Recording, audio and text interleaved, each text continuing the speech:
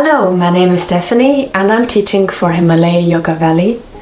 We have an upcoming workshop on yoga for grief on the 26th of November in Ballincollig, on the 10th of December in South Mall and on the 17th of December online, always from 2 p.m. to 4.30 p.m, so two and a half hours.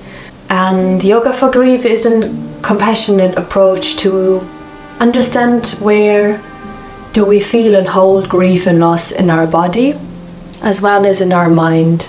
And the day or the workshop will consist of different elements. So we have some meditation in the beginning to just allow us to actually settle into that topic connect with our heart to find that space.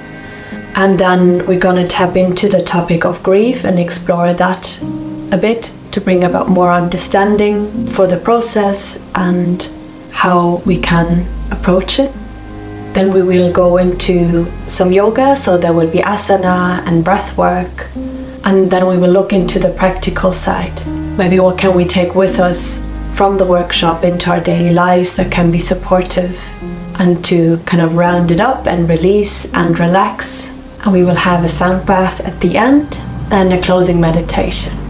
So I'm hoping that this workshop brings about the benefit of, of actually allowing ourselves to, to talk about this aspect as we're often quite isolated um, with it and to bring more understanding of uh, not only of the body but of grief in general and also how we can work with it um, physically as well as mentally and some nuggets to take away that hopefully might help the process and my background is in bereavement support and I'm end of life care or as a death doula and as a holistic therapist in, in cancer centers.